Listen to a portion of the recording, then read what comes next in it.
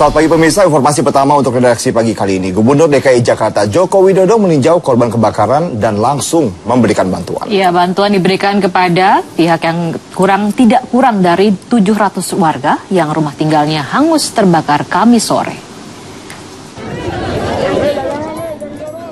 Warga korban kebakaran mendapatkan bantuan dari pemerintah Provinsi DKI Jakarta berupa beras dan sepatu sekolah. Bantuan disampaikan langsung oleh Gubernur DKI Jakarta Joko Widodo.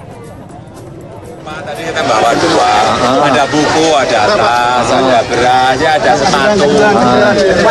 Berapa beras Pak yang dikasih Pak di sini? Ada berapa karton? beras sama sepatu Gimana rasanya Bu? ya hilang aja buat nyamuk-nyamuk gitu Tidak kurang dari 70 rumah di kawasan padat penduduk Pos Duri, Tambora, Jakarta Barat, Kamis sore terbakar. Belum diketahui penyebab kebakaran yang mengakibatkan sekitar 700 jiwa kehilangan tempat tinggal. Warga hanya bisa menangis dan meratapi rumah mereka yang hangus terbakar. Fakai Tami, Hendrawan Wikongko, Jakarta.